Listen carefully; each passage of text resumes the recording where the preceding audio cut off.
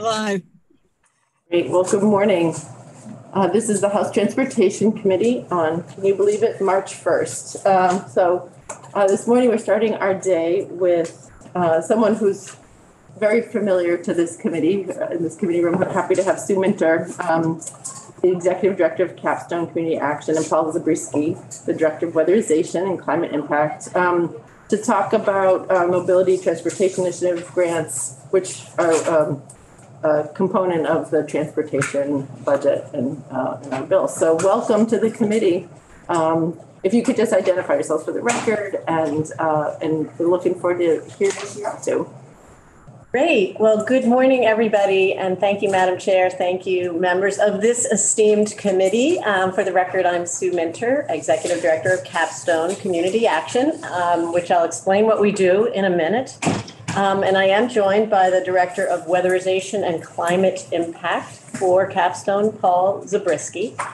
Um, and I think I just want to say that it's always great to be in this room where I had the opportunity to serve, uh, as do you right now, as well as serving uh, and coming to this body as uh, a member of the executive branch, uh, both as the deputy and secretary of this great agency, best agency in state government, um, and also as the Irene Recovery Officer. So that uh, painting is also really powerful and meaningful to me. So thank you for uh, letting us join you today. And I think what we are here to do is really tell you about, I think, something uh, that is a success, uh, that is an outgrowth of the work that this committee has been uh, planting the seeds for and developing the opportunity uh, for innovation in our microtransit work.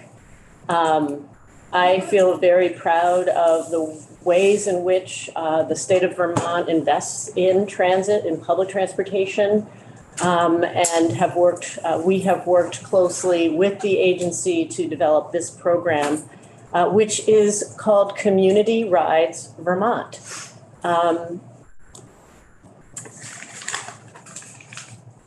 let's see if our uh, Zoom is going to go through forward. We are Capstone Community Action. This is our beautiful uh, headquarters in um, Barre, just down the road, and we invite you to visit us anytime.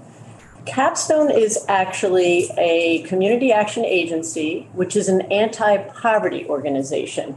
Uh, we were really born out of the war on poverty in the 1960s, established in 1965, and we are part of a network of community action agencies around the state, all of whom serve your constituencies. And we serve low, moderate, and very low income Vermonters in a range of services and programs. We focus on addressing people in crisis, whether it's food, uh, access, uh, housing, uh, focusing on folks who are insecure or unhoused uh, or heat uh, through the winter. But we also build what we call ladders out of poverty. And we try to find innovative ways to fill the gaps that the barriers that really keep people in poverty. And that's where this program really sits. Um, we are really building an opportunity, leveraging the federal public transit money that you all appropriate, as well as the MTI innovation grants that you have really begun to think about how do we build upon our existing uh, public transit uh, system, uh, but to innovate and to leverage partnerships with our businesses, with our philanthropic community, uh, looking at opportunities in the climate space uh, to really build what we call a transportation equity program. And this is a service of all electric vehicles that is going to um, serve both our elderly and disabled population, our Medicaid transportation services, our job uh, recovery access program, as well as what you're calling the Mobility for All program, to help not only support um, businesses who need workers, but people who need rides literally to get to work, to get to the doctors, to childcare, and to food. That's what we are developing. I think you all uh, will know that we have a lot of unmet needs And particularly given our rural nature, how do we think differently to expand upon um, what we know are problems, whether it's the high vehicle miles traveled, um, our maintenance costs, um, and access? I want to just step for a minute to help you uh, understand why. Why is a community action agency, an anti-poverty organization, getting involved in transportation? Well, yes, it I think connects to my passion for transportation, but in this job, understanding the depth and breadth of challenges of low-income Vermonters has been quite revealing to me. And at the beginning of my service in this organization five years ago, I met with a lot of different partner organizations, whether they were housing, uh, affordable housing providers, whether they were the food bank, um, the community health centers, um, uh, the parent child centers, all these different organizations we work with.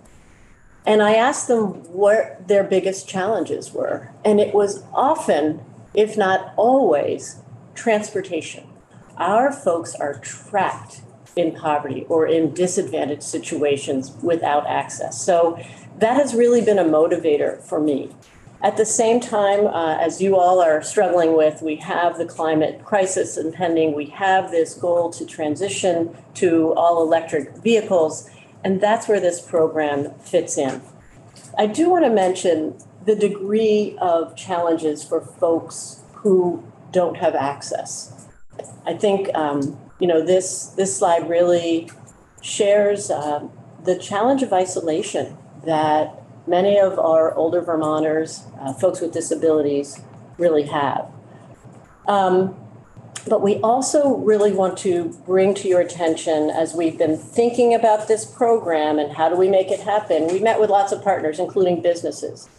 Um, we met with the um, head of human resources for the Central Vermont Hospital who told us at that time, this is pre COVID, they had 200 unfilled positions, most of which were for entry level. They were creating new positions to see who else they could attract and retain. When they surveyed the people who didn't take the job, number one problem transportation. You all have businesses who can't fill their seats. Transportation is one of the reasons. And that's why we see this solution as something that leverages. We want to work with our businesses to help provide access. We want to um, make sure that our social services can utilize our system to provide access for their folks, whether whatever their challenges are. Um, and what's the third one? Business and you, state government, our partner. Um, it has been a journey, and I really appreciate Ross being in the room, uh, trying to help uh, support us and challenge us uh, along the way. But we are incredibly thrilled uh, that we now are um, grant recipients. We've signed a contract, and we are in a 90 day period from signature to launch to begin uh, as a sub grant recipient to Green Mountain Transit Agency, who I believe you're going to be talking to next, to launch this service. We're starting small. We're starting with, I believe, four vehicles.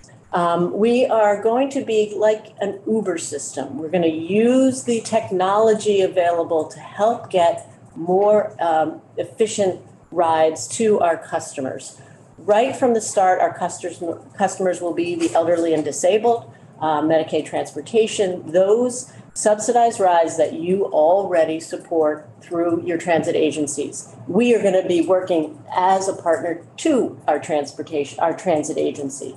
But our goal is to build up from there. I'm going to pass it to um, to scale up, to expand to many other markets, so that this is a leverage federal dollars adding in other private sector dollars, businesses to expand this effort.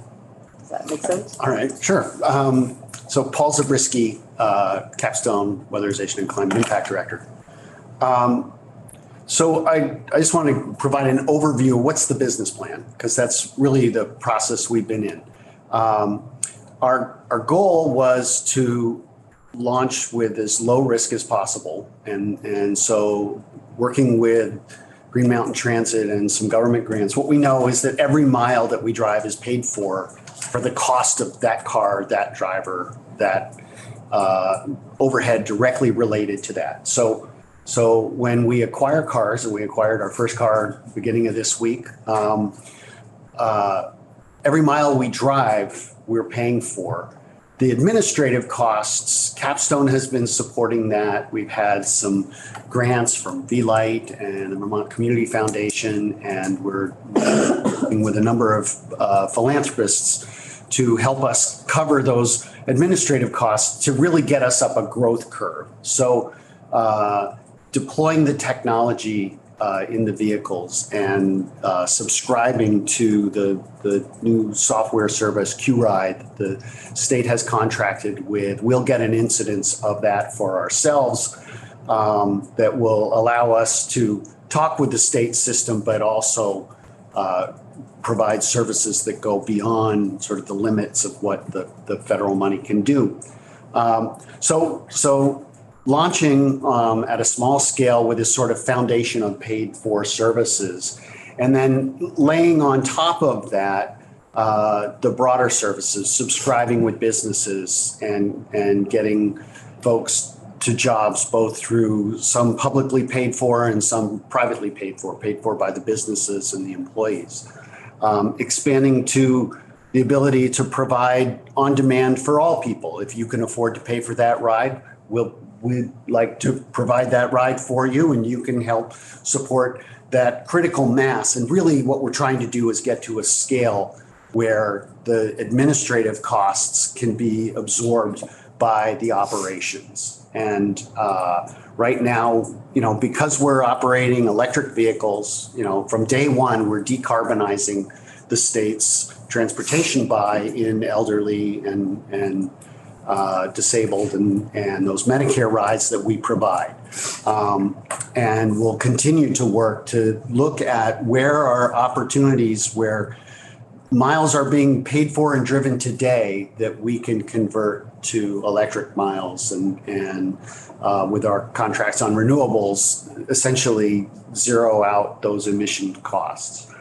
Um, the goal is to be at 30 cars in 30 months. So it's quite ambitious. Uh, but we feel that if we can get to 30 cars um, and develop the systems to manage 30 cars in motion, um, we project that that's probably 80 different individuals driving um, in terms of the workforce handling that fleet. Uh, at that scale, the systems can then really start to scale. You can go to 100, you can go to 1,000. And obviously, we're not just talking about Barre and Montpelier here. The, the issues that we've outlined exist throughout the state, right? So we are we're eager to work with uh, Lamoille County and delighted that they're launching a uh, microtransit service within the community of uh, Morristown. Um, but all those surrounding communities have lots of people who have needs. So, so the the the model is to sort of prove out uh, and, and you know learn as much as we can, as fast as we can uh, within our communities of Barre and the greater Barre Montpelier area, um, but rapidly take that to a scale where it's working for all Vermonters. Do you want to do any of this? Uh, Sure, I'll speak a little bit to that. So um, with with the original round of MTI funds, um, we did market research. We had a number of focus groups um, and really worked hard to hear the voices of the community that isn't being served. And um, you know, we we had heard, you know, there's, I, I, you know, there's not a demand for that service. Well there's not a demand for that service if we're not asking the right questions, right? That, um, and when we ask the questions, there's a huge demand uh, for folks who either don't have a license, can't afford a car. Um, you know, we have a situation in Vermont where because we use salt, we're very unlike other parts of rural America where you have 20 and 30 year old sort of beater cars that that um, are more accessible. Here we have an inspection standard um, necessarily because our cars rot and they become dangerous after whatever, you know, you know, 10, 12, 15 years, depends on the make and model. But uh, we get to that point where steering and brake lines and, and just, you know, underbody rot, the the car's done. And uh, so we necessarily have to be on top of that, but it's very expensive. Um, and that, you know, the number that's tossed around is nominally $10,000 a year that a household needs to be putting into a car. And uh, so our goal is to try and help folks who don't want to own cars get where they need to go. And they can contribute some to that. And there will always be a group of people who will need subsidy. We recognize that, but there's others who are sort of in a gray area. And, and we'd like to try and find ways to braid together the various resources. Um, uh, Sort of lost my place there. That's fine. Vision? Well, I want to just explain um, where we're going. I think you've heard, but the thing I don't think we've explained um, is what is Community Rides Vermont? You understand that Capstone Community Action is a, a nonprofit organization, been here for a long time. We are incubating Community Rides Vermont. Um, an, a separate nonprofit organization with, uh, here is our board of directors, some of the names you may recognize, as well as a project team. Um, and really, once we launch this, it will become a project of Community Rides Vermont. And the reason for that is we know that we need a specialization, uh, a, spe- a board who have better connection to this program and this concept than our capstone um, board of directors. But also significantly, it is important to have, I think, a, an infrastructure and an institutional arrangement where we can blend the publicly funded rides with new opportunities from business, potentially other federal programs that otherwise wouldn't be utilized, as well as uh, philanthropy and the private marketplace. So it is that leveraging of different funding sources that I think is what's so key for you all to understand about our effort. Um, and then there is our impact. Uh, we see this as such a multifaceted program and are excited that we're looking at the climate. We are transitioning uh, to the electric fleet. We're going to learn lessons, and our riders will learn lessons. Um, and of course, we're decarbonizing every current ride that we may be displacing. Uh, we're looking, as we said, for access to employment. Not only are there empty positions, there are people looking for work, and we want to make those connections. Um, we really want to make sure we are addressing uh, those needs of isolated Vermonters, Vermonters without access. And I will just say, you know, one of the many programs that Capstones run is a program for pregnant and parenting teens young women who've carried their babies to term and choose uh, and have to drop out of high school. Uh, we run Head Start. So we have the opportunity not only to care for their kiddos when they're born, but to support them in their getting their actual high school diploma and moving on to post secondary education. So we have this program. We have a student who cannot get to us without a car. Imagine that we can't get to your high school without a car. I met with our Head Start home visitors about a month ago. Uh, those are folks who go into the homes of very low income people, moms uh, with very little kids.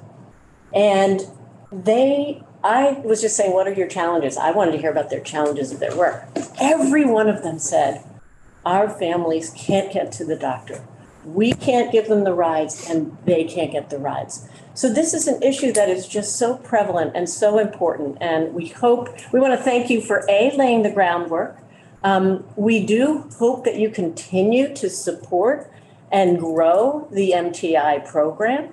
I honestly don't know that much about where what the governor's recommend is, but we want you to be robust in that investment, recognize the opportunities ahead, as well as um, the mobility for all which I think right now is within that program. But that's enabling us to really think about beyond who is a vulnerable Vermonter. It isn't just someone elderly or with, with disabilities that can't get to the doctor. It's many, many low-income people. So with that, we just thank you for your time, uh, your interest. Did you have more you wanted to say Well, before I, we close? uh, I'm sort of curious if there's questions and, and Absolutely, if you want to have, this is, I would say, thank you for coming in. This is really innovative. We heard a little bit of a preview from Ross, uh, talking a little bit about rural Uber when, um, when he was giving his overview of his, uh, of his, of his, bu- the public transit budget. So this is, this is really exciting as somebody, uh, who represents two rural communities and I know, I mean, it's, we're, we're within close proximity Brattleboro, but it's enough miles, like it's nine, 11 miles. It, it's really challenging for, for folks. So I'm really excited to, to hear more. So I want to open up to questions from the committee. Sure, why not? Yeah. I see. Uh, So just like a little background on, I think I heard you say that uh, you uh, about to enter into a contract or a grant contract or something with Green Mountain Transit, just, just in the very near future to provide this, some sort of service. I'm Not sure what that's going to say or how it's going to work. And then, um, let's start with that. Correct. We have already signed a contract to be a sub-recipient to the Green Mountain Transit to provide the elderly and disabled rides that they are contracted to provide, as well as the Medicaid transportation and the Job Recovery Access Program, as well as this new uh, opportunity with Mobility for All. So the agency contracts uh, with uh, Green Mountain Transit, and I'm looking to Ross to make sure I've got this. And then we are a sub-recipient. So we are absolutely partnering with GMT uh, to see how we can innovate this. So maybe we can get to uh, customers that they can't with an all-electric vehicle. Um, we know that it's um, cost competitive with what it would cost them to take that ride, often with a much larger vehicle, of course, diesel vehicle. So um, we are very much in a learning stage, and this is the incredible opportunity to begin our program on a very small scale this spring. So right now, your program's conceptual. Yes. uh, no pilot. You have not run a pilot program to see, to get any data on what you may or may not be facing yet? I would consider this opportunity as the pilot.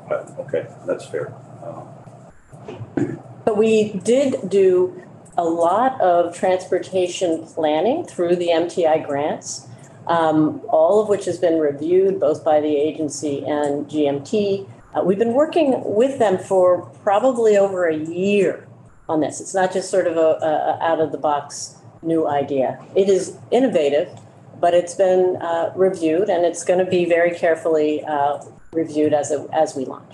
So this obviously differs, differs from My Ride program pilots that are running around the state. Uh, And I guess there's one in Montpelier still going on. Uh, So I'm, I'm- I'm guessing yours, uh, yours is an on-call demand uh, for service. So I, I think um, the word pilot maybe, uh, I think it has connotations in the context of these federal dollars that are not germane to us. All right, we contracted an hourly rate for a ride given, a ride paid for. Um, and the, uh, the, my understanding is some of the federal funding provides a three-year window to figure out, is this, is this the right thing? Um, we're not part of that process from our perspective. We may be from Ross's perspective, but, but from our perspective, we're launching a business, right? And uh, we know that there's a lot we don't know, right? I want to be humble about the, the fact that we are new to this environment. Um, I, unfortunately, our general manager, Chris Cole, is not here today, but a wealth of experience in this industry. Amanda, who was uh, with me last time I was in, is also uh, away getting some much needed vacation before we launch. Um, so she's not here. Those are the two people who could speak most uh, clearly about our specific structure. Um, but we're So you're contracting, you're, you're- you're contracting to provide rides to somebody that needs a ride, and they'll contact you in some way. And yes, under that contract, those rides are going to be um, managed through the call center and meet all of the current uh, systems that GMT has. I think I heard Paul you say that it's on a per ride basis. Uh, your contract with GMT is on a per ride basis. It's actually an hour, it's an hourly contract, so I, uh, don't quote me on that. But I, I know it's, I know it's an hourly contract. I- How, what those windows are, we're dispatched by Green Mountain Transit. Okay. In the, in the E and D, the non-emergency medical transport piece of this. Just Trying to figure out how this is all gonna work. Uh, Service area, so I think I heard you say probably your whole area that Capstone covers. At the outset, we're really just focused on sort of the greater Barre area. You mentioned the My Ride, and again, I think that would be great for, to hear from Ross. Um, we are working to complement every existing system. We are not trying to undermine or, or, you know, compete. We're trying to complement and extend the reach of our existing, you know, primarily fixed route, but now new ride-hailing opportunities with new innovative ways to try to meet this mixed demand, as well as to get different funding sources so that it's not all public sector supported. And in startup capital, uh, you had to garner some startup capital. So we are using a combination of bank loans. Our primary capital cost is cars, and fortunately, the financial world is very comfortable financing cars. Um, So that piece of it, and then uh, the, the other startup costs have been carried by grants, by Capstone, uh, and by philanthropists. I think, I do want to mention. We're, we're not, we're not using state capital grants to purchase vehicles. That allows us to use those vehicles much more flexibly than the, the existing transit operators can use their equipment. And that, I think, is one of the major differentiations that, that why, what we're trying to do can't necessarily be done by Green Mountain Transit because they're working under a range of constraints. So by us being just an hourly contractor to them, we can provide uh, clean rides for their customers at a lower rate than they can provide it because our cost structure is uh, overall lower. We're not trying to do as many things as they're trying to do. Um, So we're, we're a contractor and it allows us to then use those same vehicles to provide rides to people who are paying for them. I want to add one other thing, because you're right about startup costs. And we are in a major capital fundraising campaign uh, to build that up so that we can scale up, even as we launch with a small fleet focused primarily on this relationship uh, with Green Mountain Transit. We did receive a um, a congressionally directed expenditure uh, from verbiage there. Yep, I just wanted to get it, I think, accurate, um, from now Senator Welch. And that will help us with our physical space. Right now, Capstone is going to host in our garage um, uh, the first four vehicles uh, as we begin this spring.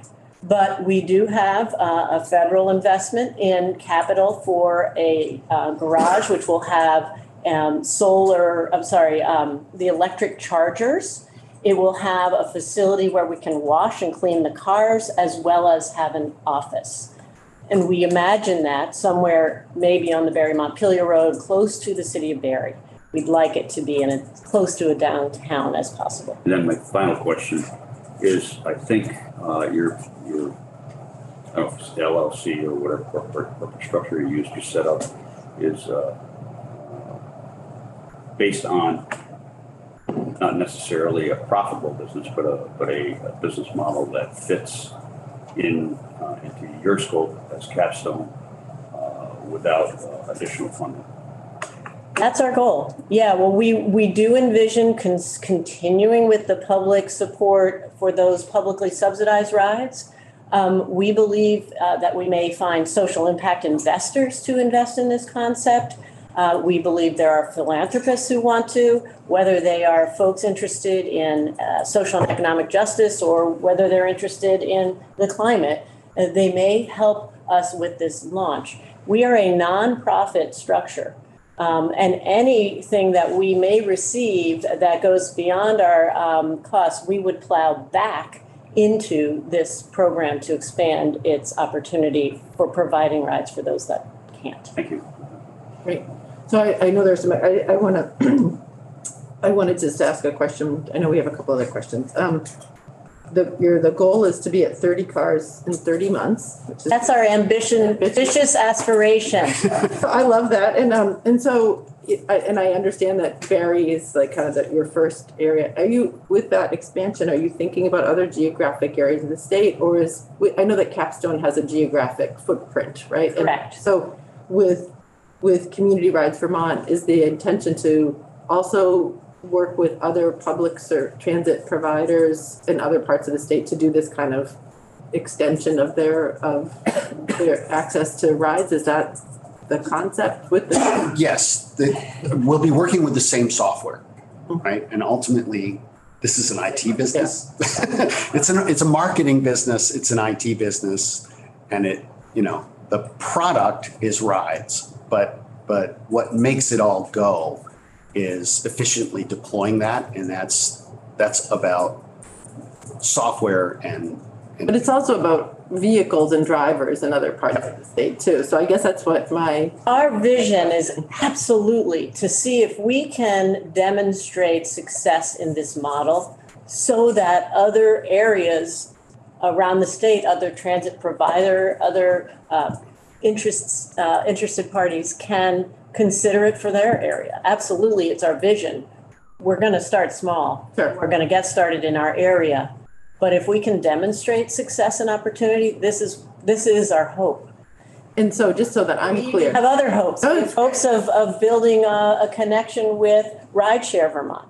Um, you know, part of the vision is can we help Vermonters who want to live either without a car or with one car instead of two, do that?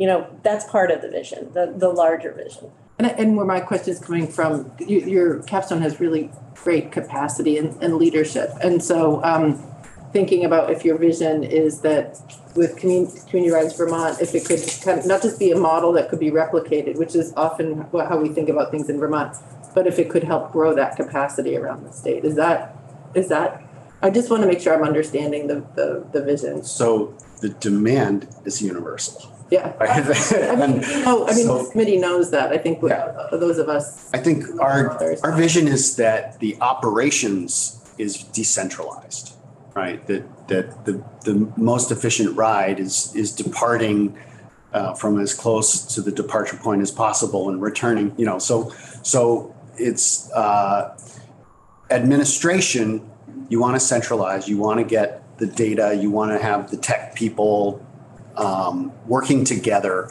and supporting all of the operations. But operations happens in small nodes, not big headquarters and, and centralized service hubs. And I think we will be demonstrating, you know, is this nonprofit the right model? Could there be better partners? Um, could it be run right out of the, the existing, uh, transit providers? We, we worry that there are li- such limitations to that, that it may not work, but we don't know that. And I think for sure, every member of our board of directors' vision is that this is much bigger than Barre Vermont. great, okay. I know there are other questions. Thank you for that. I think Representative Burke? Yeah, I just want to say this is so exciting, and it's such a great sort of extension of your career, Sue, in the transportation world. And Paul, I know how much work you've done uh, in this, mean, setting up the Mileage Smart program, for example. I mean, you're, you have been innovators, and it's really inspiring. So you received an MTI grant for planning, what was, yeah, Yes, we uh, applied for and received in the first two rounds, uh, two different planning grants. One was really a needs assessment, and the second one was much more about software and technology. And, uh, and the third round, we were not notified that it was Uh-huh. available. But you, you foresee sort of going back there periodically to, I think we could make great use of some of the opportunities for innovative, answering key questions that may not be solvable within our confines. Yes, and I think the MTI program right now, especially as I understand it, Ross can clarify, the mobility for all element uh, is very important to some of what we're trying to achieve. So our hope is that that has robust investment that can expand. The other questions, Representative Pouch and then Representative Lally? Thank you. So um, you take over, you contract out to do the subsidized rides that are already existing. So that helps bring in some funds. Then you're going to uh, uh, backfill or add more rides. And these would be no-cost rides and rides that people would pay for. How do you make those distinct distinctions and, uh, you know, within the, if I call and say I need a ride, how do you make that distinction, whether you just give the ride, appropriately so, even though it's not subsidized through the, the programs? And or, you know, cost of the ride? I, I'll try to the best of my Yeah. knowledge here. Um, uh, so the goal is to braid funding streams. So, so it may be that we're putting more than one person in a car. Yeah. Um, and there's a lot of efficiencies gained in that. Um, and different people may be paid for by different funding streams.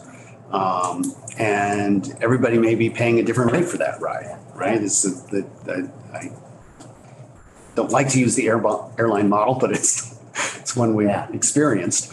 Um, so, uh, the goal would be that, that everybody who gets in a car is a member of some form. You're, you're pre-registered. We're not a taxi, right? Yeah. We're not just see you go wave from the side road and pull over. That's not.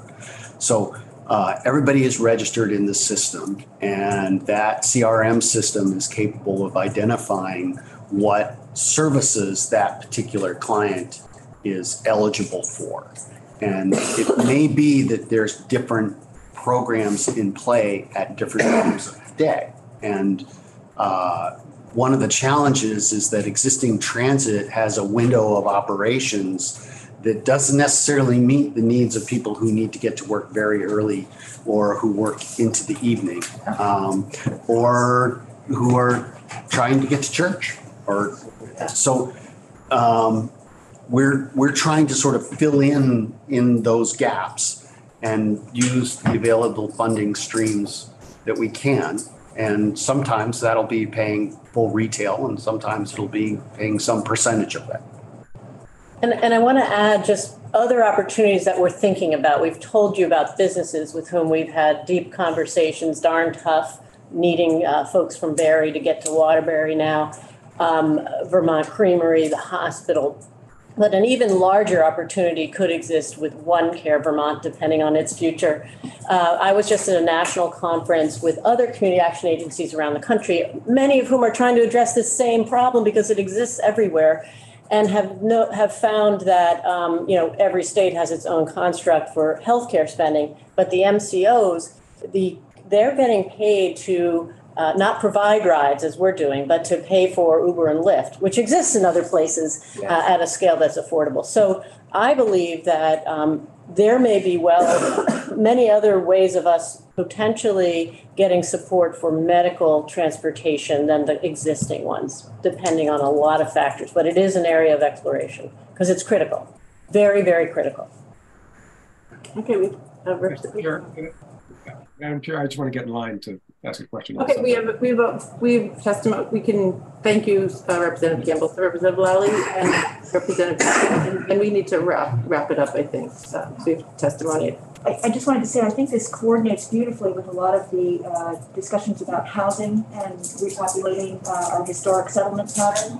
Um, It's kind of restoring uh, at a scale that complements the, the, the, the- what those settings provide and what life is like in there. Um, And it also helps to uh, revitalize them as centers, you know, regionalized, decentralized centers. So I think this is very exciting. Thank you, and we haven't had a chance to meet yet, but you probably wouldn't know that I spent 10 years in the Department of, of Housing doing the downtown revitalization program. So you're right. We are thinking about all of that. Representative Campbell, who's joining us on Zoom. Yes, thank you. Sorry I couldn't be there today, uh, Sue and Paul, and I'm homesick, almost better, but not quite. Um, I, I'm just wondering whether you've engaged any, uh, any people who've worked with or for Uber or Lyft in, in, uh, in getting their, um, sort of, uh, system designed. Uh, have we engaged with, well, we, we have paid a local driver um, to sit down and consult with us about A Lyft driver, A Lyft Uber and Lyft. uh, to, to sort of talk about his experience operating in the broader Barre Montpelier area. So I would, I would consider that sort of commercial intelligence. Um, uh, I, I want to mention also uh, on this team, John McBride uh, is a consultant who hasn't worked for Uber and Lyft, but has done work with sort of ride hailing and on-demand services. He's sort of our, I guess, so-called expert in that area. Yeah. Uh, he worked with Bridge, which was formed out of Middlebury College years ago, uh, helping students get uh, to and from uh, the, the school. Um, Anyway, Great, well, thanks. Um, this is a very exciting thing you're getting underway and, uh, and I'm, I'm glad to hear about it. And I- I'm sure you've got uh, various, um, scenarios, um, sort of mapped out depending on how, how things go in terms of, uh, the level of public support for these rides, uh, versus, um, what you're gonna have to charge and, and, and how much of it's gonna be supported by fares. Yeah, we're, um, thank you. Uh, You know, we're watchful of the conversation about fare-free transit. It, it doesn't necessarily help our model. um, uh, in, at least in the Barre Montpelier area, and, and I'm not really informed about it at the level, obviously, that you folks have been having this debate. Um, I think it's a completely different creature in communities where fixed bus service has been a success, but uh, it, it's, we're, we have a a hard time figuring out how to integrate this with uh, the services we're trying to provide. Um, I just, sort of in summary, I want to both talk a little bit about this with the Mileage Smart program, but also community rides. You know, the, the data that came out of rural Wisconsin, um, I find really compelling, and that, that was that when it comes to a household that's on public assistance, access to a car and a driver's license is a better indicator of their ability to get off that public assistance than a high school diploma, right? It, it is, it is so fundamental to helping people get out of uh, a grind. Um, and we're really excited to, to be pushing for new ways to make that work. Any last questions?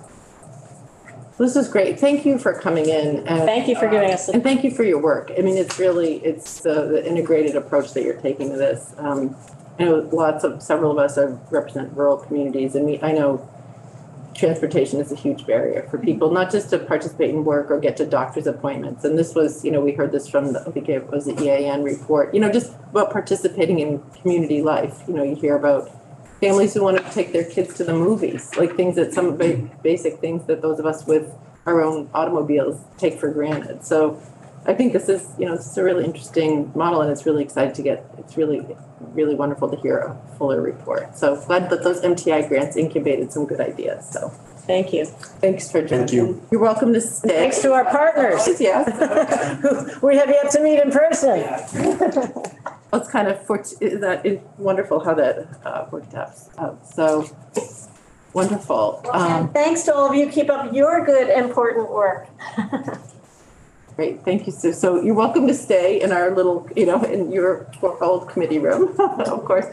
So we're gonna transition now. Um, we've invited, um, uh, Clayton Clark, uh, and Nicholas Foss of Green Mountain Transit to come in and, uh, um, to talk in more detail about, um, a, a request that they have. So Why why don't we transition? These for Jeannie? Jeannie's not here, so actually, I'm gonna, we're, uh, we've ignited, uh,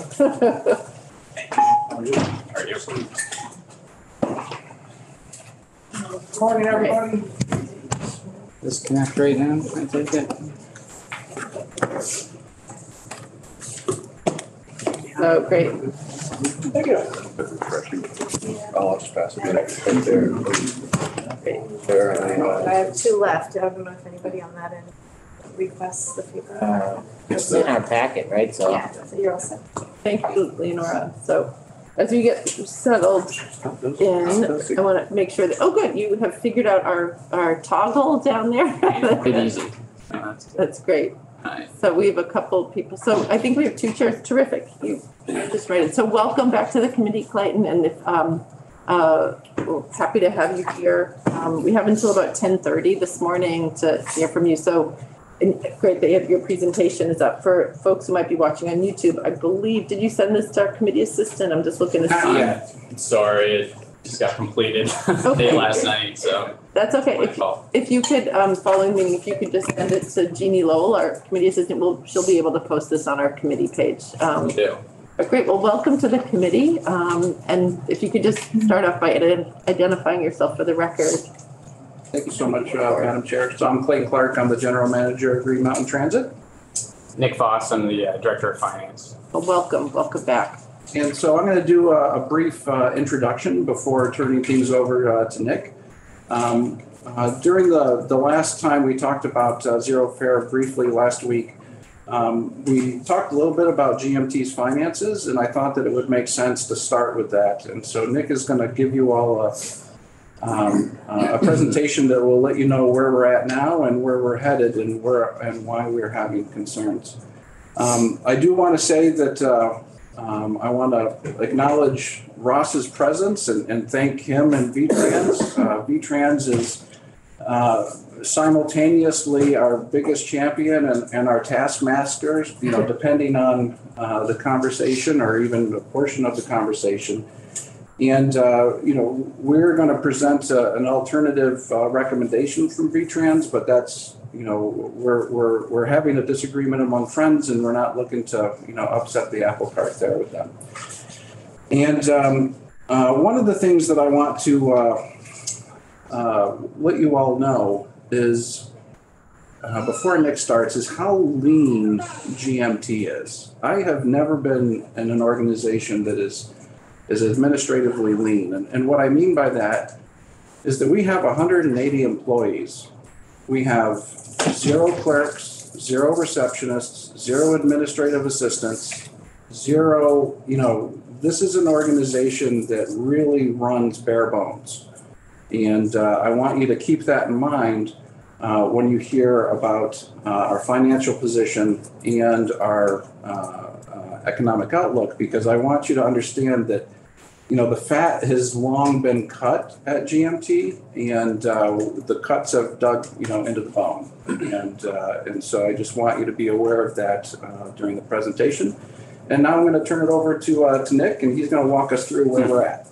Well, thank you all for taking the time and letting us come in here. I've, um, I'm going to start uh, with uh, a couple things. Uh, so the organizational overview, I'll try to smooth through that. I think you all have a good sense of what Green Mountain Transit does, but I did want to just quickly do a review of that. Um, the funding summary, where does the money come in? What do we spend it on? Um, I think that would be helpful for you all to, to see. And then we'll end with the financial outlook. So I'll hopefully not try to depress you all um, too much through that. But um, so that those are the that's the plan for today. Um, so the organiz- organizational overview. Uh, GMT was chartered in 1973 um, as a municipal corporation, so we are a municipality uh, by the Vermont General Assembly. Um, and then in 2011, uh, we actually uh, uh, merged with Green Mountain Transit Agency, which is right in Washington County, Berlin. Um, and then in 2016, we actually rebranded GMTA as GMT.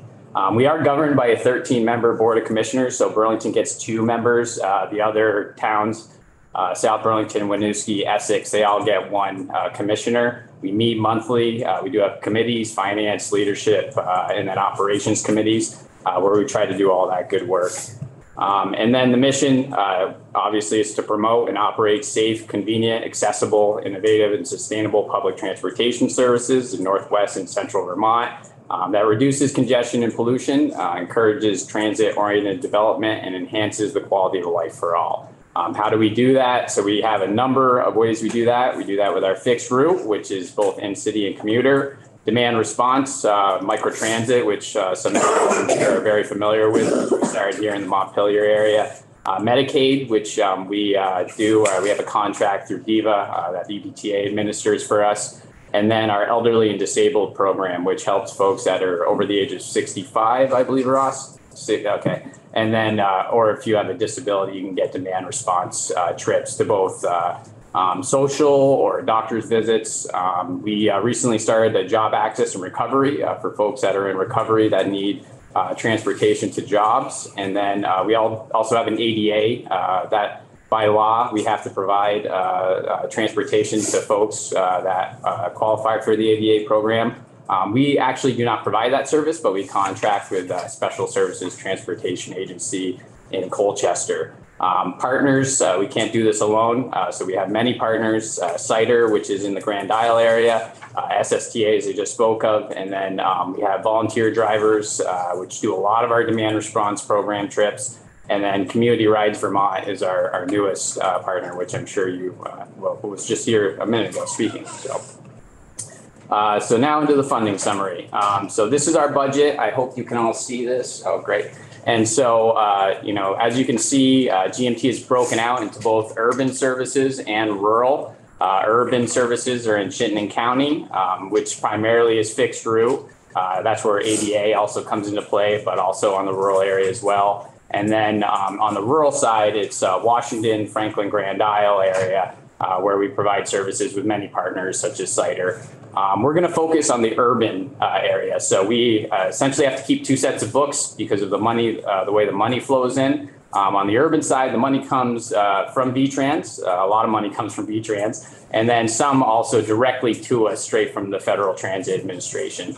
Uh, on the rural side, almost all the money flows in directly from VTrans. So it is very different. Today, we're going to just focus on, focus on the urban side because that's where we're, ta- we're talking about fares. Um, but as you can see, that's about a $17.7 uh, million dollar, uh, operation currently. Um, so what are the sources? So every dollar uh, that comes in uh, to GMT, uh, and this is based on FY24. So this might, you know, change year to year a little bit, but it stays fairly consistent. Um, over the last couple of years, the federal portion has grown considerably because of the COVID relief funds that have flown in. Uh, but uh, you know, you can see about 20 cents on the dollar uh, that comes in is from the from the local members. That's Burlington, South Burlington, Winooski, all of those member communities on the urban side. Uh, the state, uh, about 13 cents of our, our, of the money that comes in is straight state operating funds. Um, the federal, uh, obviously the largest portion is about 54 cents. And then 12 cents from fares is what we're planning on in FY24. Uh, and then about a, a penny uh, comes in, and that's mostly made up of things like advertising uh, revenue and, thing, and, and revenues of that nature. Um, this is just the same exact thing, only it's the nominal amount. So you can see the federal portion in FY24. Uh, we're budgeting to spend about $9.6 million in federal funds. Uh, that'll be primarily uh, federal formula funds that require uh, a, a non-federal match, uh, but there are some COVID relief funds, a, a small portion in there as well. Um, you're seeing we get a, a, great deal of money from the state, so $2.3 million. Um, 3.6 roughly is, is coming from the local members. And then operating revenue is about 165,000, and, and we're planning on about a little over $2 million coming in from fares in FY24 the operating cost structure. Um, so what do we spend our money on? Uh, you'll see a, a great deal of it, over 60 cents uh, on every dollar spent on salary and benefits. Um, the remainder uh, is about uh, mainly maintenance, uh, which is the third largest, 15 cents. Uh, and then the remaining is, is, is planning and marketing and then general and admin and kind of going back to Clayton's uh, take on how lean we are, uh, you know, general and admin. I mean, that doesn't include wages. I want to be very clear, but um, other administrative expenses are, are, are fairly low.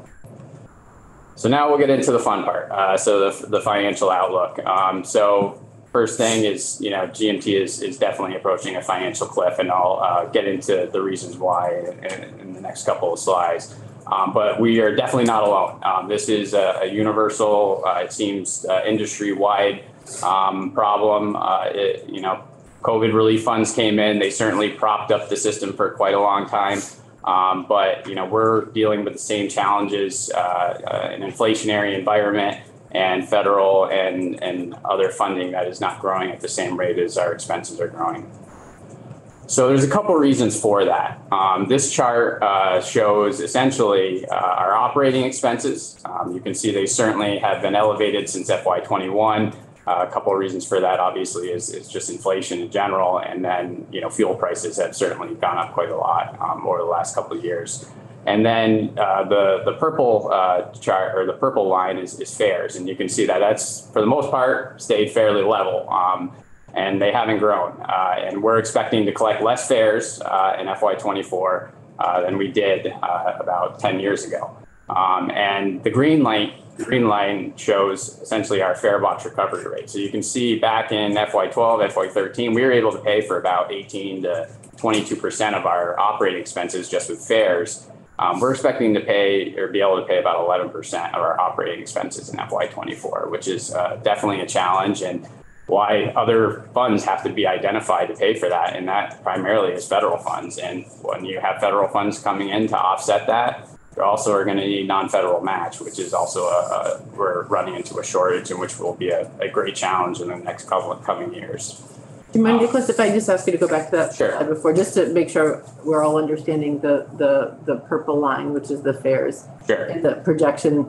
Um, because you said in FY twenty-four, you're, it, can you unpack that a little bit? Yes, so this is just a history of fares. So we've, you know, back in FY twelve, FY thirteen, we were collecting, I think at the height, we got up to about two point four million dollars in fares.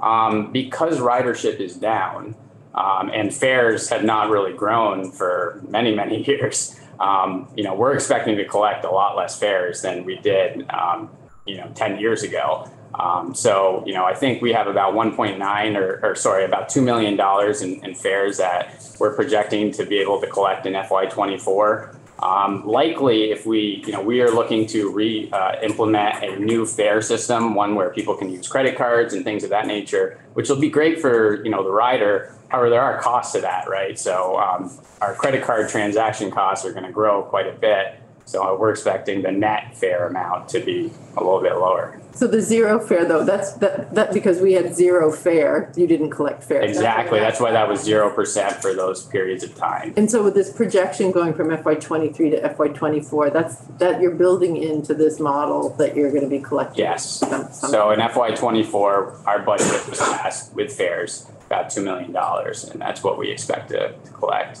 Okay, so we have another question, Yeah, I Representative just, Lally? I just want to drill down for a second. So it sounds like the biggest driver is the, the reduced ridership. Is, is, that's the key to the whole thing.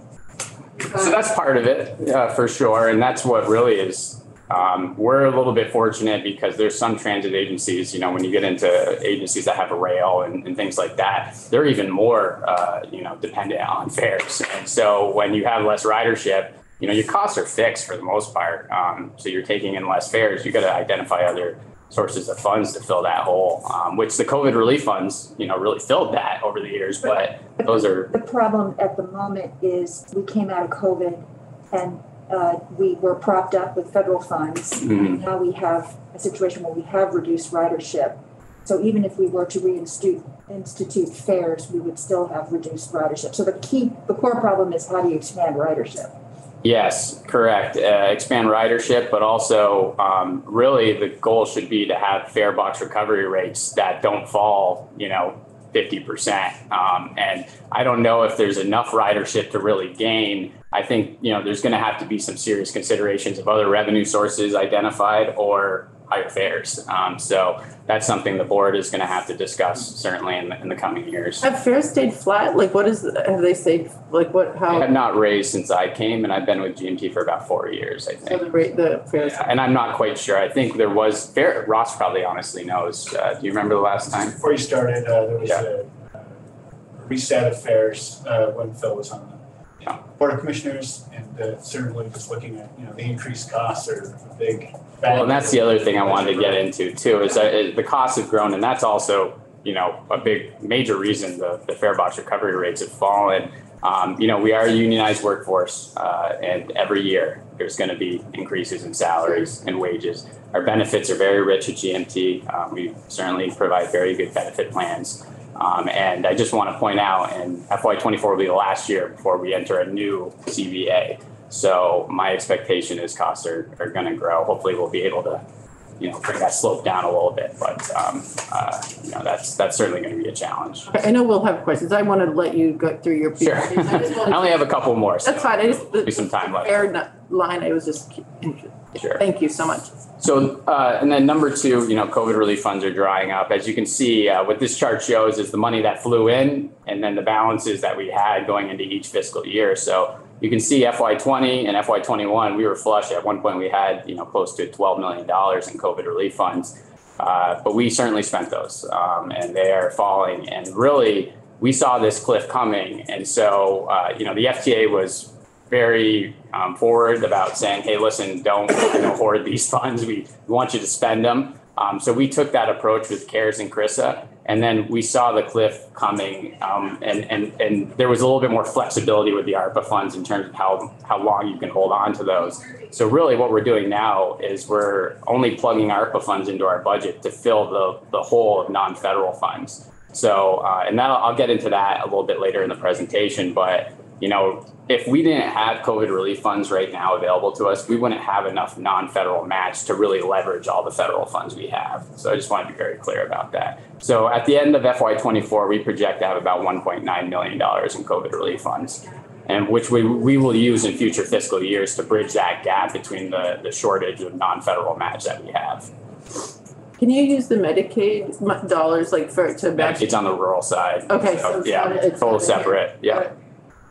And then, uh, so it's not just non-federal match that is a shortage too, it's, it's federal funds. Um, we're spending a lot of federal funds now, um, you know, going back to that, uh, fares chart. A big reason for that is because fares is covering, covering a, a much smaller portion of the budget now. So that, those, that budget has, or those revenues need to be made up somewhere else. And what we're doing is we're spending federal funds to fill the hole. So what this chart shows is in FY twenty-four, we're projecting to spend five point two million dollars roughly of federal funds.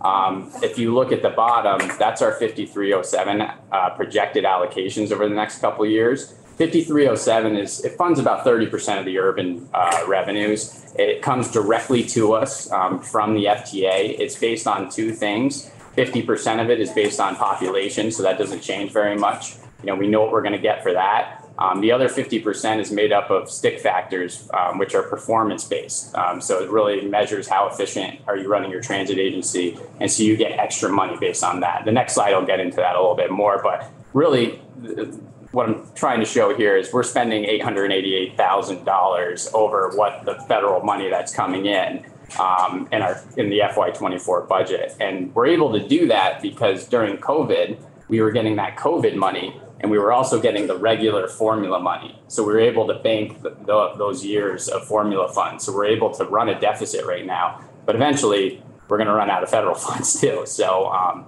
you know, it's not just a non-federal uh, fund issue; it's a federal fund issue as well. um, and then non-federal funds, I just want to show, you know, this is just an example of, you know, kind of how we plugged in the the the, the COVID money to fill the the gap in local funds that we have. So, you know, in, in FY twenty-four, the non-federal funds that we have budgeted were six point, say, four million dollars roughly, right? Well, we really needed about six point seven million to leverage all of the federal funds that we were drawing down. So what did we do? We plugged that in with COVID funds. So we we uh, had to plug in about three hundred and fifty thousand dollars of COVID funds because we were short on non-federal funds. Now, if we didn't have those COVID funds, we would have had to have raised non-federal match in other ways. If we did it through our local assessments with our partners like Burlington and South Burlington, their assessments would have had to go up about 10%. And just so you know, we've raised assessments on average 3 to 4% a year over the, history that I can remember at GMT. Um, if we didn't, if they would have turned that down, we would have had to done two things: go to Ross, and Ross might not have the capacity in his budget to support that. Um, if that was the case, we'd have to cut service. So, and then the last slide uh, is where you know I think if we got bridge funding to you know implement a new fare system, it, it isn't just going to uh, help the authority financially, but it, it would be a good investment, on, in my opinion, um, from the state. Uh, as I talked about 5307, half of it is population based, half of it is performance based. Um, as you can see down below, these are the stick factors. So these are the factors, if we meet them, we get extra money, right? So right now, GMT is meeting four of the stick factors out of the six um, that we uh, apply for each year. Um, four of the factors are based on ridership. Um, we are meeting two of those right now. Uh, the other two, we are very, very close at. So those are the ones on the left-hand side. So it's the passenger miles per vehicle revenue mile and the passenger miles per vehicle revenue hour. Um, I believe if we have the time to implement a new fare system, uh, which in, I think by January we could we could do that. You know, we could minimize hopefully the loss of ridership um, that we would have, uh, and hopefully get those other two stick factors that's $1.1 million of extra federal funds that come in. And at least that solves the deficit of federal funds that we're having right now. In fact, it's 300,000 or 200,000 over um, the deficit. And maybe that's, you know, we can tell Ross we don't need as much preventive maintenance money or, or whatnot. So that might be a benefit to, to V-Trans as well. Um, but, you know, my, my worry is if we don't get this bridge funding, we're going to be forced to use our COVID relief funds to fill that hole we have about 1.9 million dollars there. So that's really going to push that cliff much, you know, not to a year, you know, couple of years problem to like a next year problem possibly. Um, and uh, you know, I think that you know the other other choice we can make is just to get fares up and running as soon as possible, say September. And you know, I, I don't really believe that'll be a very successful operation and it could worsen ridership to the point where we lose the other the two stick factors that we're getting and just make the federal funds deficit problem worse. So um, so I, I do think that you know if, if we do get the bridge funding um, you know, hopefully uh, that will um, allow us to minimize the disruption on our riders and, and help the financial uh, situation at, at GMT so um, that's all I have. Uh, happy to answer any questions, and, uh, and, my contact info is there. If anybody has any questions about the presentation, I'll certainly uh, provide it. That'd be great. And, and, maybe keep up that last slide if you don't sure. mind, because it might be helpful in the some of some of the questions or or discussion. Sure. I saw a few. I, saw I think if I uh, I'm going to not uh, have nearly as much to go over as sure. does, but there's some things that I think may touch upon people's questions. And uh, and so really what I uh, and uh, much of what I'll be talking about is, is in the handout. Um, the the situation that GMT is in is that we know that to get a unified uh, fare box system, that we're going to have to purchase about $650,000 worth of equipment. We're also going to have to purchase uh, some additional software licenses that would be about an additional 160,000. But I'm not going to focus on that because those software licenses are instantaneous. You can just order them and they arrive quickly. Uh, not so with the fare boxes. And so I feel like we're in this position where we're being uh, asked to spend $650,000 on equipment that we don't even know if we're going to need. And it seems like a, a real um, irresponsible move to spend these taxpayer dollars if there is a general consensus that fare free should apply to all of Vermont and, and not just rural Vermont. So last year, the Board of uh, Commissioners uh, introduced a budget that uh, would fares in, in, the, in uh, fiscal year 23. There was uh, interest from the legislature to extend zero fares, and that happened. This year, uh, the board passed a budget that would bring fares back in, in 24. Shortly after that budget was introduced, we had a bill that was intro- or that budget was passed. There was a bill that was introduced with 47 sponsors that would extend zero fare. And so we're in the situation like, okay, should we spend this money when we don't know whether we're even going to need uh, the, this equipment? And what I don't want us to do um, is have us sort of tie our hands so that for the next ten years, we're gonna be having a fare box system that first off has no use to us if we're gonna go down the zero fare route. And second off, if we do go back to fares, we're not gonna have time to look at what is the best uh, fare system that we should use, which gets to the point, which I think is probably more important for me as a bureaucrat. I like good governance. Good governance takes time. And so if we want to make sure that ridership doesn't uh, crash, we're going to need to make sure that we go through the process of identifying vulnerable populations, um, identifying the mechanism for how we would verify these populations, how we would give them uh, a reduced rate or a free rate. We also need to do the work to figure out what is the right fare amount for those folks uh, who uh, who are able to pay. And so we've been talking about uh, the fair fare approach. And those things take public comment, they take public input. And I, I just don't want us rushing towards uh, putting this in place uh, and then having it fail because we are unable to, to take the time uh, to do it in a, in, in, a, in a way that it really deserves. Um, so that's the focus on the bridge funding. And uh, um, and I think that that's the, where we need a decision sooner than later, just for the reasons decided.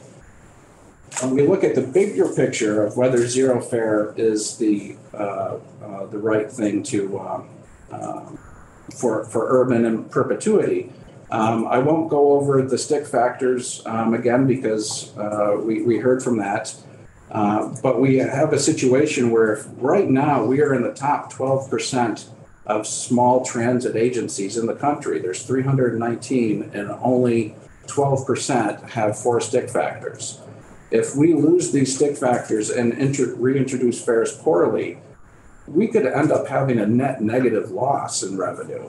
And, and that, you know, you know that's a, a, a possibility. I think it probably won't happen, but I think that we will lose at least one stick factor, which means that we just aren't going to get a very good return on investment for those fares. Um, the other item that uh, I want to mention is that uh, during the VTrans's presentation on uh, zero fare, uh, it was presented that there was $36,000 worth of costs uh, for GMT to return to fares. Clearly, there was a disconnect in, in our understanding of that task. I don't understand why that was reported. That thirty-six thousand is for things like banking supplies and armored car service uh, and things that we would need to, uh, the smaller items that we would need to purchase. We also would need to fill a vacant finance position because we will literally have tens of thousands of financial tra- uh, uh, financial transactions that will need to be uh, uh, go through our process. We'll have to devote an FTE for a journeyman mechanic uh, to work on the fare boxes, because especially the fare boxes that we would need to purchase acted quickly are high maintenance load. Um, we have about 832 hours of salaried staff time counting money instead of managing. Uh, the software licenses themselves are $65,000. So when you add up all of this, the, the cost to operate is, is uh, about 333,000. One of the things that we also would probably need to do to give you an idea again of how lean GMT is, we don't have an IT manager. And so to have all of our buses having a system on place that's going to be using credit card phone payment, you know, I'm going to be looking at the specs for that system, but I'm sure that we're not going to be able to do that without an IT manager. And that's going to put the costs uh, up to probably about four hundred fifty thousand dollars uh, uh, to do uh, for our operating costs. And the, the thing that I'll close with is that, you know, all right, well, if you see a financial cliff coming, it's going to happen sometime. So, you know, you have to accept that, you know, someday that day will come. What I also know is that this group here and VTrans is is going through the process now of rethinking how we are going to operate with a shift away from the gas tax. And that work will be happening in the coming years. And public transit would be a great, you know, whatever methodology is used to replace revenues for the gas tax, that would be a great option to support public transit. And my hope is, is that if we push out that financial cliff far enough, uh, that we may actually then be in a situation where there's alternative funding uh, means identified for public transit. So we don't go over that cliff, we don't have to cut service. Um, And if we have to internally fund uh, the uh, extension of zero fare, it- that's just not going to happen. So that's my story, I'm sticking to it. All right, thank you. This is, this is really helpful to get this more detailed look. I think you heard from the committee that we needed to have a deeper dive into understanding, um, you know, to get into your business a little bit more, frankly, you know, and so appreciate, um, the, the level of detail and how, um, you know, what I'm, what I'm hearing is that one of the ways to stabilize the funding is to get, uh, GMTs, you know, get those up, that, that can yield one point one. And the way to do that is through a thoughtful approach to fare boxes. Absolutely. So, um, I, so I'm gonna, I wanna give the rest of the committee some, um, some time to ask questions. We're not gonna be, you know, we're, we're, next week we're off for town meeting break.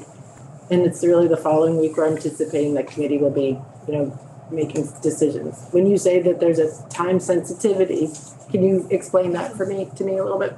But just the time sensitivity that we're not, I, I don't want us to have to make an order of any equipment. We've already, actually already bought about eighty thousand dollars worth of equipment, just because it was something that was gonna take longer to get here than the other items. I don't want us to have to purchase any more equipment until we have some clarity on whether we need fare boxes or not.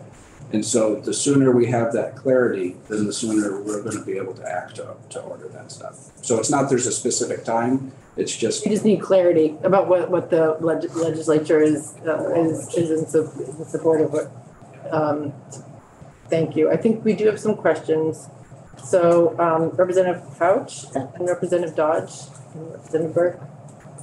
And then we'll go from there. I thank Madam Chair. Uh, it wa- and that, I think it was a purple line showing, uh, the income from fares. Uh, and I'm wondering, uh, within that, is that money that, uh, the university provides or the hospital provides for their, you know, A little over a hundred thousand dollars, you know, is from, uh, businesses or? from the unlimited access plan, the CATMA plan, which we can actually use for local, non-federal match. Um, but, uh, yes, that is included in that purple line. And, and what are some of the, uh, businesses that, you know, that would, uh, you'd go back to, I guess, if we went back to collecting fares? That's UVM? UVM, St. Mike, Champlain College, I believe dealer.com is part of that. There's some other businesses. Global Foundries. Uh, Yeah. Thank you. Representative Dodge. Uh, yes, hi, I, um, to me, that, that purple line at the bottom, um, and I know I'm, I know I've, I've, I've said this before in our committee, and I know that I'm in the minority, um, but it, it represents, um, the p- putting cost of public transit, putting that cost of transportation on the backs of the poorest people in our state who have no other choice.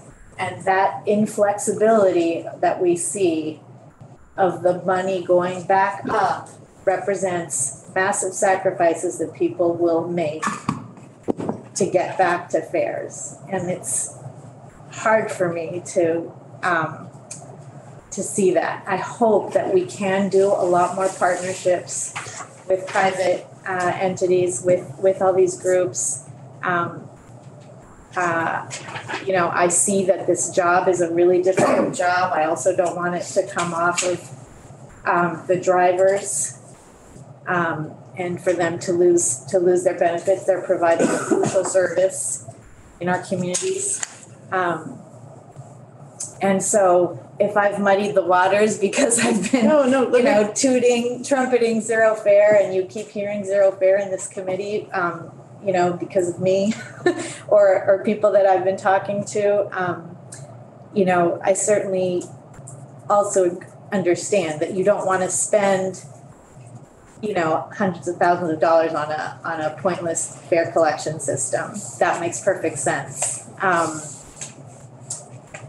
I I just didn't want it to go down without without a whimper, at least. well, let's, but let's, I think Representative Dodge, I think you raise a really good question. These are the folks to ask about it. I think you're hearing Representative Dodge's concern that we are, that we are imposing fares on the backs of some of the uh, most vulnerable Vermonters. And can you help us, the committee, really clearly understand that? My, because I think I have a, a different understanding that the most vulnerable Vermonters currently can be subsidized within that, that that is not who that is. But please help us understand that best, because you are the ones delivering this service, and I want to make sure that that's clear to the committee as we are deliberating on this. Thank you so much, and, and I apologize that I forgot in my introduction that uh, demographics of, of riders has been something that we've discussed, and um, we uh, um, discussed last time that, uh, you know, our data is old, so I started doing some research about what's happening in other transit agencies, and I'm not quite ready to uh, provide that to you, but what, um, what we do know the ridership uh, in um, uh, the urban zone definitely is more diverse. Um, it's definitely folks who are on the, the lower end of the socioeconomic spectrum. And what the research that I have found um, so far has shown is that in the rebound for ridership, buses have returned back uh, to ridership levels faster than the other modes. And the reason for that is because bus riders tend to have fewer options than folks who are taking the train or the commuter, you know, rail. And so, and so I think that when you see GMTs rebound, we're not back to pre-pandemic levels, but we're close. The, the reason for that is because the people who are using it, that is their primary option. Representative Dodge, do you, do you want to have follow-up question? I want to, Yeah, I this is was- the time. I, yeah, so, I- you know, I, I, I really did read through the, you know, your, your survey results and I, and you provided, um. These are from 2014. Right, the- but there was also a twenty twelve, right? There was a twenty twelve and a twenty fourteen, is Yes. that, is that right? Yes. And I you know, this was a really in-depth rider survey that was done and, and with a lot of caveats of like, well, we did these interviews in the morning, so this would capture commuters or this would capture, you know, and, and so we do have kind of a, two years. It's true, they're ten years old, but that's because COVID hit and we couldn't, we couldn't do surveys. Um, so, you know, it is all we have, but, but, you know, the numbers at that time really did seem to bear out what you're saying and when, you know, if, if one rides the bus, you know, GMT services in, um, Essex or Burlington or Winooski or Williston or South Burlington, even communities that we don't think of as being, you know, urban or, um, you're gonna see outsized, Yes. you know, BIPOC populations, you're gonna see, you know, which, which bore out in your, in your demographic study, um, which, you know, was my first question. Tell me about the riders of this so that I understand whether, you know, if we're giving, we're proposing to give six thousand dollars of electric vehicle aid benefit, right, rebates to families that make a hundred thousand dollars a year. And so to me, I'm really trying to understand the, um, you know, the cost benefit to our communities and the weight, you know, within our budget of, of what, what's really, what, how are we really gonna best serve our state? How are we best gonna serve our taxpayers, you know, those dollars is, um, so, um, There, there's been nothing that I have seen um, in my time, both on the bus and, uh, and, and public comment uh, sections that we have, that makes me think that we are any less diverse or serving a more affluent population than we were in 2014. If anything, it's the opposite. Okay, uh, I know Representative Burke has a question too. Um, yeah, appreciate this conversation. So if we give you one million dollars, that'll get you to January first. Yes. And at that, during that time, mm-hmm. you will be purchasing fare boxes Yes, with some of the million dollars or with something separate? with se- uh, separate funds. And- Okay. And so, I'll, I'll let you finish your question. Yeah. Okay, so you do that, you start the fares. Are the fare boxes going to be set up, I think we've talked about this before, I just want to clarify, so that people who really need a free ride would be able to do that? And then my next question is, if those people are getting a free ride, do they count in your, in your count of ridership? Would that, you know, affect your money, extra money that you might get? Yeah, and, and so I think that um, it would improve in our counts because what we would be able to do is provide people, whether a card or through their phone, if they have a phone, um, a way that we would be able to vet them uh, previously that they're eligible. And then when they use that card, it would track that separately so that we know, hey, seventy-five people who, um, the disabled veterans, you know, uh, requirement used the bus today. And, uh, And they could ride for free, and they could ride for free or a reduced rate and, and that's right. depending on the income level, and figure out how to, Exactly, how to, how to make sure that those cars got to people who needed them. exactly. Thank you. Okay, so Representative Shaw, thank, Sorry. Fine, fine. So Nick, uh, can we go back to the, maybe the first or second slide that you showed? uh, You had a 20 cent factor uh, for uh, there's, yeah. for ridership. This one? Yeah. This is the breakout of the sources of funds. Could you, could you- could you make it, can you zoom? I don't know if you can, zoom in, not, not the other zoom, zoom in. Uh, let me see here. How do I do that? Okay, right here. Is that, So you can see- can you see it okay? I- yeah. So in the urban division, you have a 20 cent factor. uh, Is that a contribution factor? What- Yeah, what? so twenty cents of every dollar, um, this is according to FY twenty-four, I want to be very clear, our- our next year's budget. Um, we are budgeting to come from local, uh, sources, meaning they're gonna be coming from Burlington, from South Burlington, Winooski, all of our urban member, sorry, Hinesburg, you know, uh, yeah, uh, all of our local member towns, yeah. So we, we talked about, a little bit about that with, uh, with Clayton, uh, last time he was in. And I think, I made a statement, I think it was backed up by Representative Coy, that almost every town in Rutland County contributes to Marble Valley uh, Marble Valley Rapid Transit, MVRT. And so we just happened to have a town report last week, so I scoured that for our contribution from my town Mhm. uh, to, uh, to MVRT, and it's, we, we, we contribute a dollar sixty-six per person, man, woman, and child, to MVRT for their services. I, I think you'll find that pretty common throughout the whole, uh, our whole county. How does that, I mean, twenty cents versus a dollar sixty-six on the surface, just on the surface, uh, doesn't look like a fair comparison. But before you get into that, your, one of your first statements was, I always get a little nervous when a financial person says to me, I need to keep two sets of books. It conjures up a whole bit, whole different meaning. Sure. But I, I understood what you Yeah, meant, yeah. it was kind of comical to me. I could rephrase that better, probably. The second set of books is usually not one Yeah, to yeah. Yeah, But anyway, I'm, I'm sorry about that, but I regress. So back to that financial.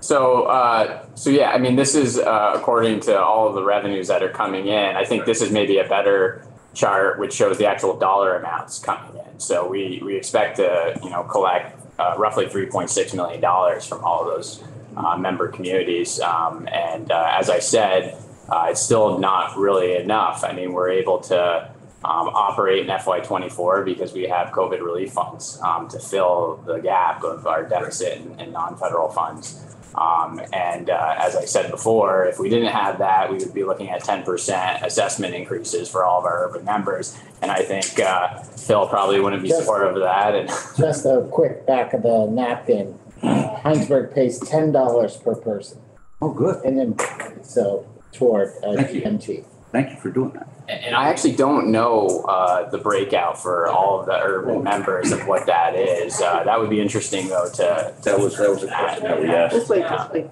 this way. Yeah. That was a question we asked Clayton to answer for us when he came back. That's, and, uh, so, and we'll move on from there. Uh, so are we, for Clayton, are we the only door you're knocking on in the building? No, Have you been to appropriations?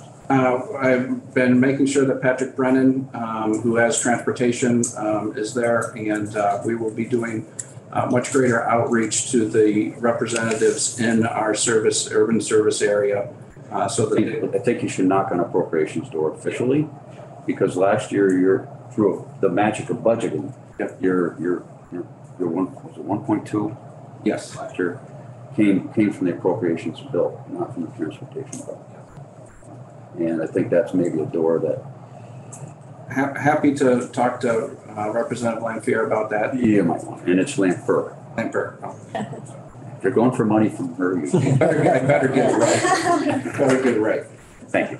I did uh, want to let folks know, just for the discussion, that that 3.6 million, 1.8 million comes from Burlington.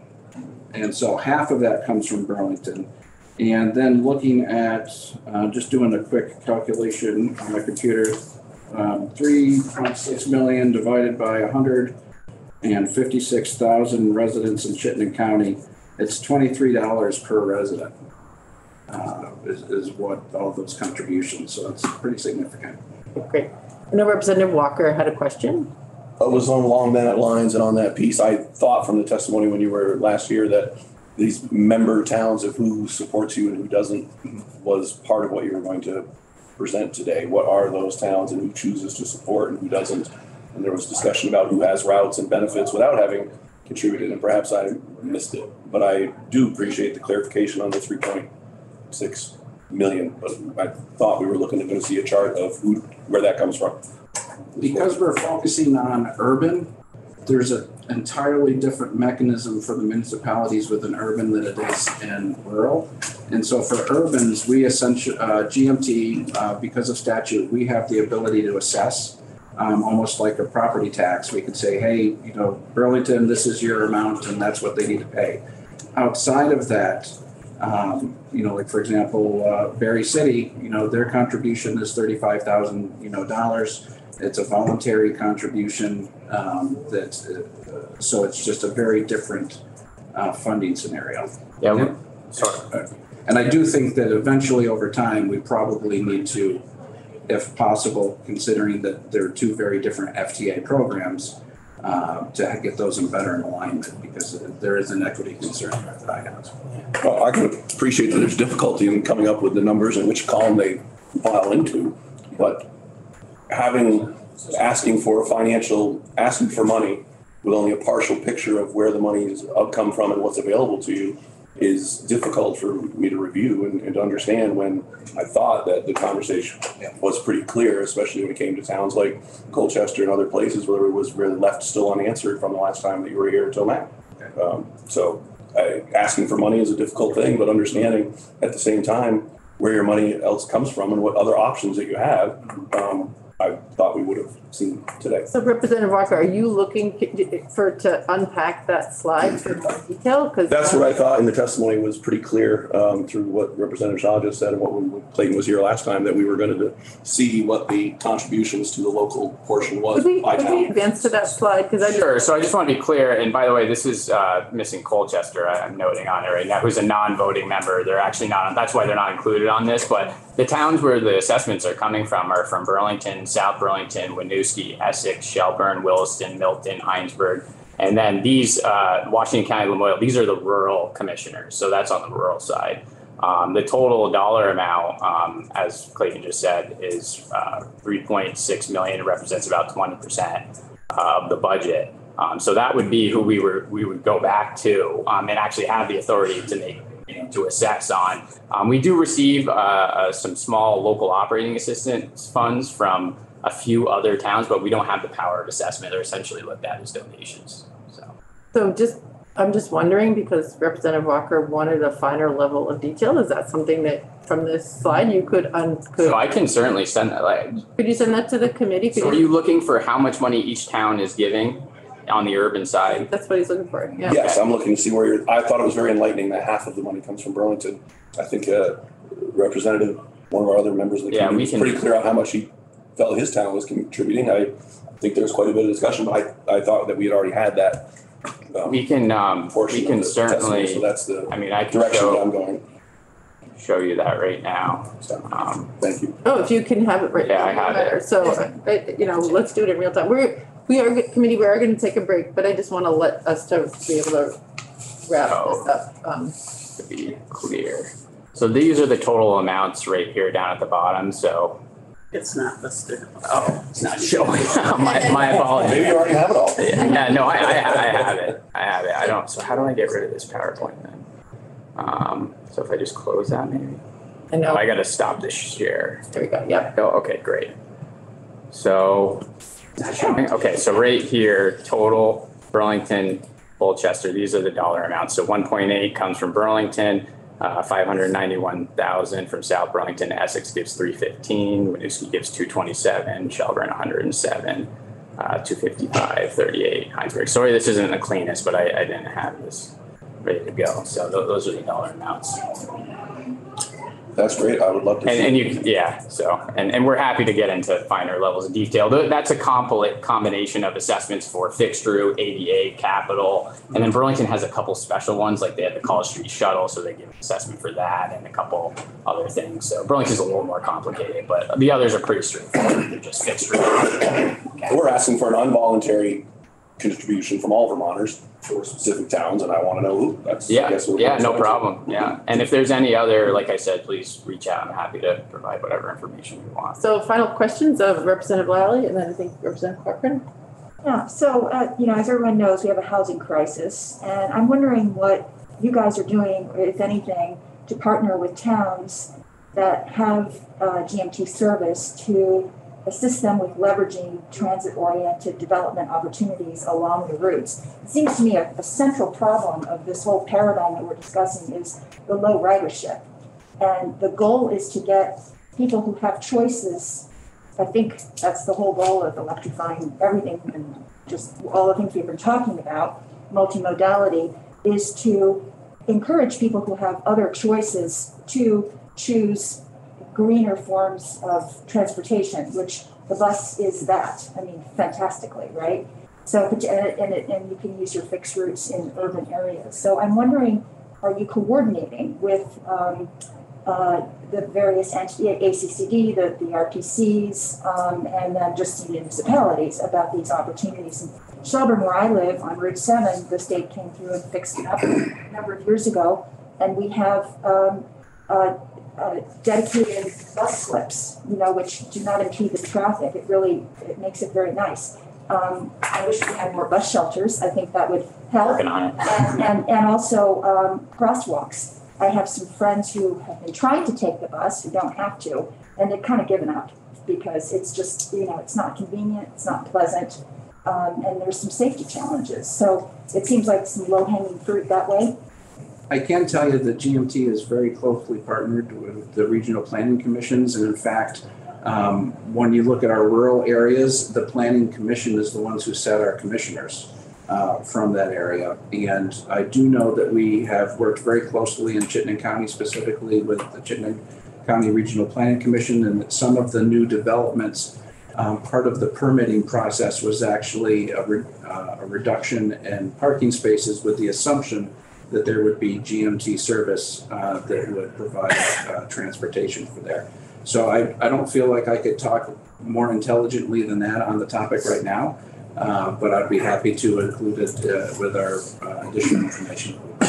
I think uh, coordination with land use in the urban areas would be extremely helpful. Okay, so I'm gonna bring us back a little bit to, to the, to the ask that's before the committee. That's helpful background, but I wanna bring us back, um, before we break. I know, um, because we did ask you to come in to kind of unpack your ask and to give us a more detail, which you, which you have done. And I, Representative Corcoran, did you have? Yeah, man, it was just more of a, maybe a clarification. You know, Clayton, you said, you know, you're talking about the uncertainty about the fare boxes and you don't want to go ahead and, and buy them before it's, um, you know, required. But um, it's unfortunate that you think it's an uncertainty because if you were here last year, um, the sentiments by the chair of the Senate Transportation, Transportation Committee was pretty clear. There was no wavering on where they stood. Um, so, but fast forward, we are where we are today. Um, you anticipate that fare boxes are eventually going to be on board. We're just talking about whether we do it now or in January. Yeah, so why not go ahead and just order them? Do these go bad? Well, actually, the is that there are other systems that may actually, we want to migrate to. For- and In fact, there is an all tablet-based system uh, that would uh, be much easier for us to maintain, much lower cost. Um, The, the issue then is we have to solve the problem of cash payments. Um, and that would just require a little bit of time for us to do that. And so I do believe that if we had extra time, uh, then we would uh, go through the process of identifying an alternative that's not a traditional big chunk of metal uh, uh, that sits at the, at the front of the bus that requires, uh, uh, you know, our mechanics to spend time on. And so that, that would be one of the reasons that, that a little extra time could mean that we have a solution that's going to be much easier for us over the next 10 years. Sure, I'm just saying, why hasn't that, why didn't that start last year? Why aren't you doing that now? You know Yeah. where we're headed. Yes.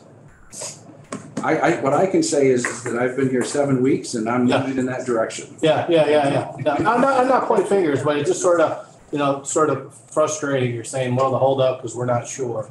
I think we're all clear that, you, you know, we're gonna go back to fares. The question is when.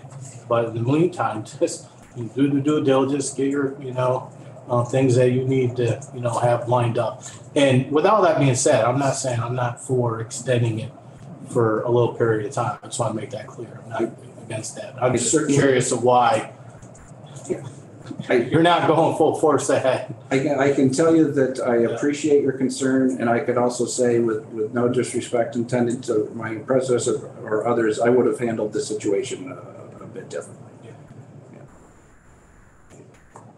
All right, well, this has been really helpful to the committee, and I think the committee got um, our questions answered, I think, a- about uh, the direction um, and what, what, what, uh, what the ask is to help GMT transition. So appreciate you making the time to come in and to. Thank you. Our questions, so, Yeah, thank you. And I will uh, put a slide together with the breakout of the towns and put it in the presentation on when I send it to you folks. great, that'd be, that would be terrific. That'd be terrific, and then we can, if you send it to Jeannie Lowell, our committee assistant, um, she can forward it to the committee and put it on our webpage.